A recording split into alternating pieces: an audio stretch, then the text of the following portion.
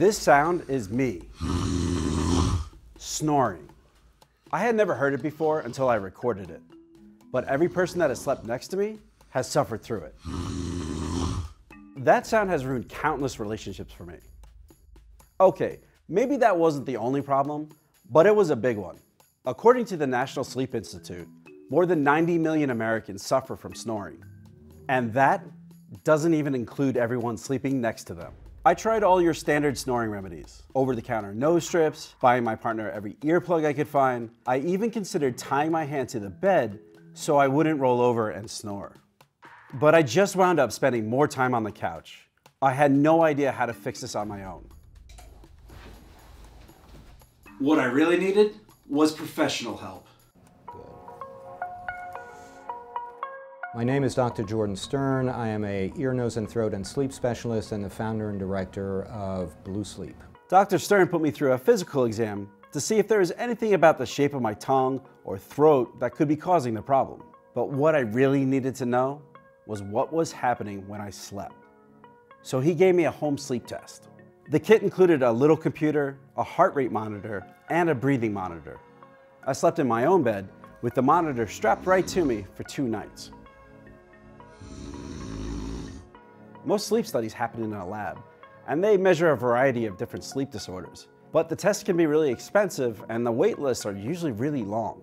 Dr. Stern only needed a few results, and mine were bad. When you sleep, your throat, tongue, and jaw all relax. This can narrow your throat's airway. Then when you breathe in, all the soft tissue around your throat vibrates, causing that awful snoring sound.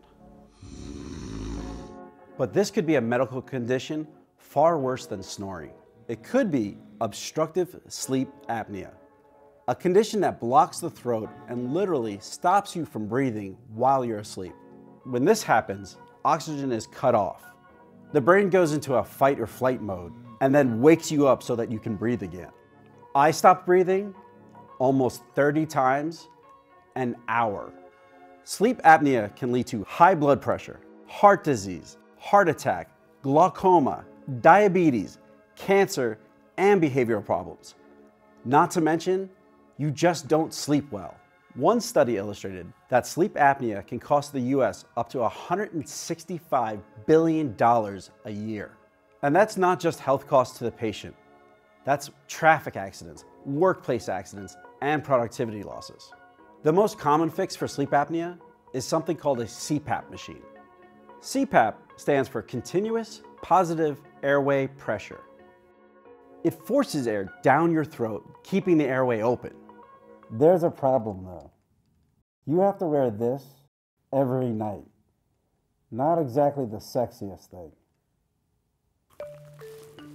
Don't get me wrong, this works. And it works really well. But studies have shown that over time, people just stop using it. And I get that. I don't want to sleep every night with this mask on. So I tried something different. It's a custom molded plastic that fits right on my teeth, kind of like a retainer. When I wear it, it slides my lower jaw forward and then opens up my airway. To make it, my mouth was 3D scanned and then molds were made of my teeth. It has these different levels that slide my jaw forward bit by bit. It's not perfect, and it takes a little time to get used to. Every morning my jaw is a little sore because it's literally been out of place the entire night. I use this little mold of my natural bite to help the jaw get back into its normal place. But the improvements have been remarkable. It used to be that I wanted to take a nap every afternoon, but now I wake up feeling rested and I can make it throughout the whole day just going. After a few weeks of using the mouthpiece, I took another home sleep test to see what the results really were. The doctor went over the results with me over FaceTime. I didn't even need to go to his office.